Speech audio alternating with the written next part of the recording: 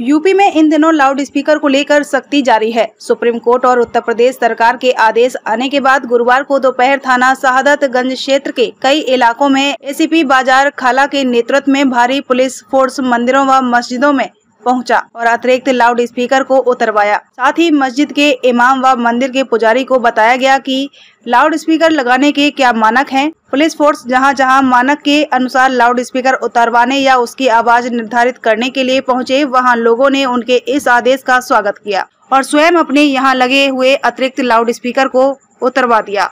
ACP द्वारा धार्मिक स्थलों से लाउड स्पीकर उतरवाने के साथ साथ नियमों के मुताबिक लाउड स्पीकर चलाने की अपील की गई। लखनऊ से राहुल गुप्ता की रिपोर्ट सर, ये जो लाउड स्पीकर के लेकर जो कार्रवाई हो रही है, जो दिशा निर्देश मिले हैं हाई कोर्ट और सुप्रीम कोर्ट से भी, सरकार भी ये कह रही है कि जिस तरीके की परेशानियाँ आ रही है, आप कार्रवाई कर रहे हैं, लोगों तक जा रहे हैं बात कर रहे हैं और लाउड स्पीकर को जो जो आदेश है उसके हिसाब से डिसिप्लिन के हिसाब से, क्या विरोध आ रहा है, किस तरीके की चीज़ें आ रही हैं, कैसा सहयोग कर रही है जनता इसके बारे में बताइए। सबसे पहले तो ये अवगत कराना है कि माननीय हाई कोर्ट और शासन के निर्देश है कि जो भी निर्धारित डिसिबल है, उसी के आसपास हम लोग अपने ध्वनि विस्तारक यंत्रों के आवाज़ को रखें। इसी क्रम में सबसे पहले हमने जो यहाँ के धर्मगुरु हैं हमारे सर्किल के बड़े बड़े चाहे मौलाना खालिद रशीद रंगी साहब हों या अन्य जितने हों, सभी लोगों से हमने वार्ता करी। हमारे ज्वाइंट सी साहब भी थे उसमें डीसीपी साहब ए साहब, मैं, सभी लोगों ने हमने वार्ता करी। उनसे अनुरोध किया कि आप एक अपील जारी करें और उन्होंने अपील भी जारी किया।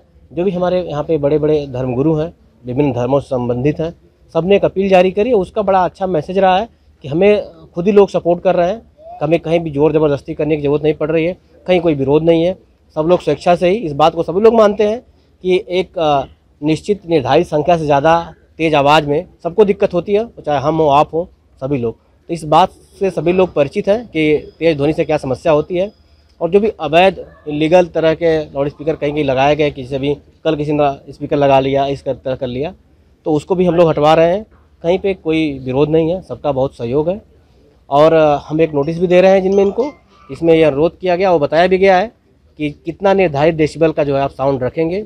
और समान निर्देश है कि जो भी आप लाउड स्पीकर लगा भी रहे हैं, अगर एक, दो तो उसको, उसका साउंड इतना स्लो रखिए कि आपके परिसर में जो धार्मिक स्थल, परिसर जिसको आप सुनाना चाह रहे हैं, वो लोग सुन लें।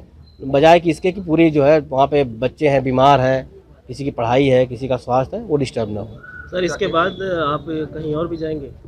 अभी हम लगातार अभियान चल रहा है और अभी हम और भी एक दो जगह जाएँगे और लगातार लोग खुद ही हटा रहे हैं और हटा के बता भी रहे हैं कि हमने हटा लिए हैं उतार लिए हैं। जैसे हम भी यहाँ पे आए तो दो लाउड स्पीकर पहले से और जो उतार के रखा था मौलाना साहब ने ठीक है बाकी दो था वो भी उन्होंने उतार लिए हैं। और लाउड स्पीकर की आवाज़ 99 परसेंट केसेज में कम हो गई हैं और जहाँ पे नहीं हुई है वहाँ पे हम लोग नोटिस भी दे रहे हैं उनसे अनुरोध करें कि वो लोग कम कर लें। सर, इस तरीके का आदेश पहले भी था, क्योंकि बहुत पहले से ये हो रहा था कि जो डिसेंबल डिसाइड किया गया है, जो निर्धारित किया गया है, उसके आधार पे हो तो ये कोई नई कार्रवाई नहीं है। कैसा लग रहा है कि सहयोग किस तरीके का आ रहा है या कोई विरोध आ रहा है? बहुत ही पॉजिटिव सहयोग है और बहुत सकारात्मक सोच है सबकी इसमें। और खासकर जो हमारे धर्मगुरु हैं, विभिन्न धर्मों से संबंधित, उन्होंने इसको बहुत पॉजिटिवली लिया इस मैसेज को। सबने एक अपील करी है, इस अपील का प्रभाव